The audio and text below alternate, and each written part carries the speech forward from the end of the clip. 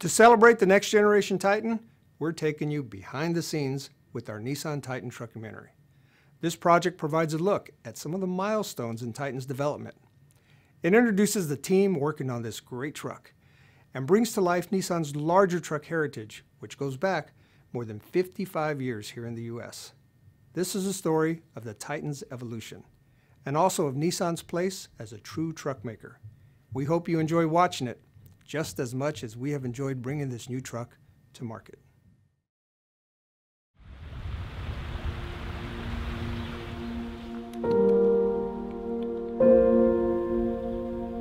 I grew up on a small farm. My grandfather had cattle, raised cattle.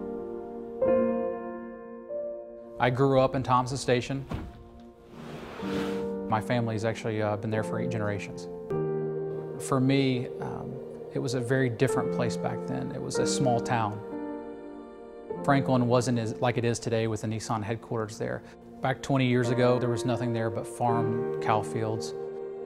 Smyrna is the quintessential rural area. I mean, it was a small town, there was nothing there.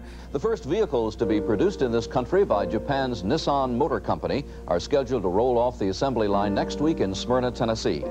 Nissan coming and bringing that manufacturing facility meant everything to those people. It presented jobs, and, uh, it lifted the economy. Um, so it was a complete change.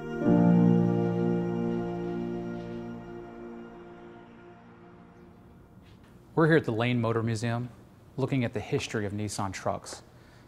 This is a fantastic area that provides us a glimpse back into Nissan's truck heritage in the United States.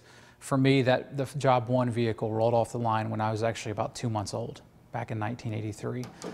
When people think about Nissan's heritage, they think about great iconic cars like the 240Z. But honestly, Nissan's start was made with pickup trucks. When Nissan began business in the US under the Datsun name, one of the first vehicles sold was this beauty here uh, with a one liter engine and 37 horsepower. Very humble beginnings, but a very capable truck that really set the stage for everything to come. Without a doubt, the old Patrols provided unmatched durability they were more powerful than anything else in the segment. They had an inline six uh, that no one else could match. It didn't matter whether it was a Jeep, a Bronco, a Scout, nobody could touch it. Uh, and then off-road ability, that was off the charts. Those little trucks ran and ran and ran, and you, they would go in any direction you pointed them. We have racing routes going to the Baja 1000 or Dakar Rally, or even to the Bonneville Salt Flats. So we have some extreme uses, but then those trucks are same, same trucks are still very capable for the customers going to the campsite, to the job site, or wherever else. If we at Nissan have done anything right, that is we have, we're constantly a leader in design. Sometimes that means you have very futuristic looking trucks. Um, I've not spent a lot of time around the Gobi, but uh, it's an interesting take on, on or what a truck can be. The SUT concept was about having space that's flexible so really innovating and, and, finding new areas for utility and function. Even things like the bedside storage that Nissan innovated with the Titan, you can see those beginnings in something like the SUT concept truck. Everybody that I've come across that has an experience with Nissan trucks has an old Hardbody story. I have customers come up to me to this day that talk about my uncle, my dad, my brother, uh, my best friend, had an old Hardbody and it had 200, 300, 400,000 miles and gosh, we couldn't break it. That's the beauty of those old trucks, the durability. The fact that a customer could run those for years and years and years and have problem-free uh, ownership was really a key story for those old Hardbody pickup trucks.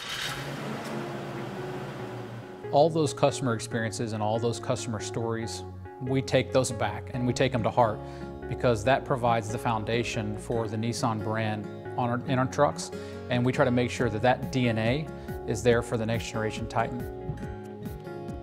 I've had trucks all my life, so I know very well how abusive truck customers can be, but then also how demanding they are of their trucks. So it doesn't matter whether it's you know cargo or uh, towing or however else they use the trucks. I understand it very clearly because if you can't have fun with a truck, you're not doing it right, in my opinion.